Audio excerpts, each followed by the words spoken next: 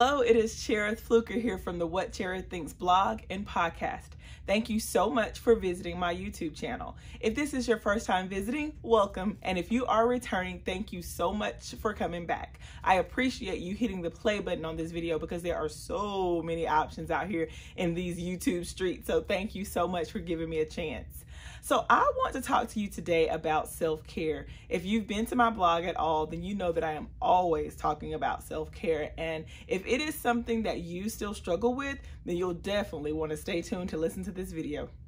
Okay, so let's just dive right into what I have for you today. What I want to talk about is some ideas for some self-care activities. I hear so many women saying that they don't have time or they can't think of anything that they can do for self-care. So I want to make sure to be providing some ideas regularly of things that can just give you that extra umph that you need to recharge and to just rejuvenate yourself so that you can take care of the things and the people in your lives that you need to take care of. One of the first things that I really love love doing is reading.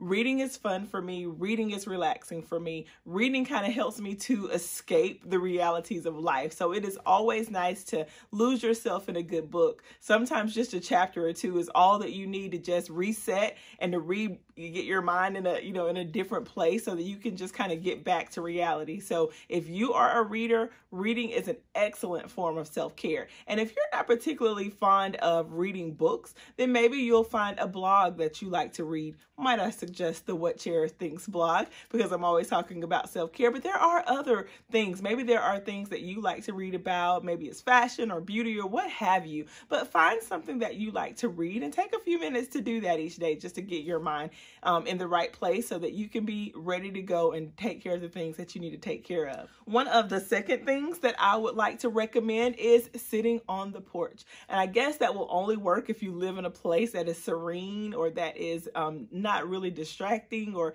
if you don't have, you know, I guess neighbors that are going to stress you out when you go outside. I am very blessed in that category because I'm able to sit out on my back porch, I'm able to sit out in my front yard, and I have pleasant neighbors and I have a pleasant neighborhood. So it is very nice to be able to just sit out there with a cup of coffee. Sometimes I take my computer out there. Um, sometimes I get up before everybody else in the house gets up and I just go out there for a little bit. It's been cold here lately um, where I live, so it hasn't really been um, an option for me, and I totally miss it. I can't wait for it to warm up a bit so that I can get out there Sometimes I'll set my clock for just, or my alarm for just like a 30 minute, or my timer, I guess I should say, for about 30 minutes so that I can just sit out there, read the Bible, drink coffee, do whatever it is just to get myself calm, ready to start the day, or to take a break from whatever, el whatever else it is that I'm doing. So sitting out on the porch is a great form of self-care. It's something that's free. It's something that is relaxing, and it's something that you can do right now. The next thing on my list is fresh flowers. I don't know if um, you are a flower person, but there have been studies that have shown that fresh flowers put you in a good mood. So I hope that you're not allergic, but um, if you aren't, you can pick up a bouquet of flowers and just put them, you know, on a table or somewhere in your desk, somewhere where you're going to be so that you can uh, smell the aroma and see the beauty that is in those flowers. And it'll help you get in a better mood. I treat myself to a bouquet of flowers um, weekly or bi-weekly, just depending on how long they last. And it really does make a difference. Sometimes it is just nice to walk in the house and have, like I said, those fresh flowers to be able to look at. They just kind of add that bit of um, sereneness and calmness that you need to, to relax your mind. So if you are a flower person, then that is a great form of self-care. The next thing is to take a walk. I like taking walks and I like taking walks that aren't like exercise walks, if that makes sense. I like to just take leisurely walks around the neighborhood or leisurely walks around the park. Those are always great ways, or walks are always great ways to help you just kind of relax and unwind. And you do get a little bit of you know calorie burning out of it. You know we don't mind burning a calorie or two around here. So it is really nice to be able to just get out and just walk and breathe in some fresh air sometimes especially because we are spending so much more time indoors these days. It's nice to be able to get out and just change the scene and just get yourself in a place of calmness and ready to go on about your day Another idea is to get a facial. You can do your facial at home. You don't have to go to a spa or salon if you're not feeling doing that yet. But if you are feeling, I can make an excellent recommendation. Just shoot me an inbox and I'll be sure to give you um, a recommendation of one of my favorite places to go get facials if you're in the Birmingham area.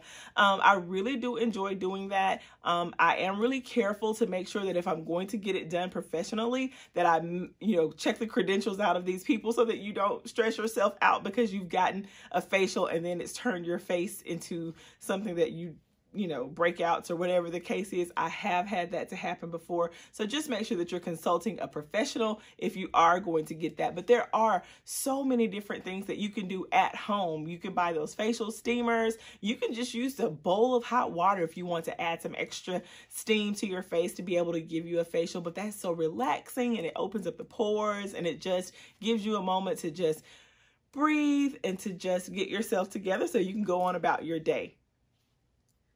One of my other favorite things to do as self care is to get a manicure or a pedicure. And I really love doing that with a friend, or here lately, I've been doing it with my daughter, and it has been really fun. It is our girl time, and we just get to relax. We shut off our phones, and we just have that time to just you know, relax and to just get pampered and to just, you know, I feel like it has such an effect because it you also you get the in the moment satisfaction, but then you also when your nails are pretty or when your feet look pretty, then you're able to have that confidence that is great, you know, for self-care as well. So it's one of those things that I think has um, you know, that right now impact, but it also has a little bit of lasting impact. So that is something that is really fun. So find your favorite salon, get your girlfriend or your daughter if you have that or a cousin or whoever it is, you know, or go by yourself because I'm not above that either. I will go by myself in a heartbeat and I enjoy doing that too. So if that is something that you think will put you in a better mood, then go ahead and schedule yourself a manicure or a pedicure.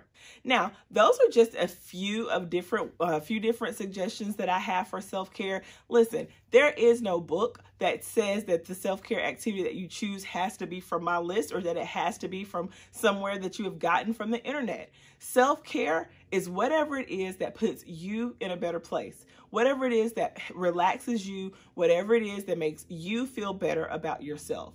So it is nice and fun to get these suggestions and to hear how other people um, do self care or other activities that they do for self care. But you need to find what it is that you enjoy. If you don't enjoy a manicure and pedicure, then that's not going to be the self care strategy for you to use. If you don't like watching TV, then that's not going to be good to watch, you know, binge watch your favorite show or anything like that. You need to shop around, try different activities until you find what it is that puts you in a better place so that when you finish, you're in a better place than when you started.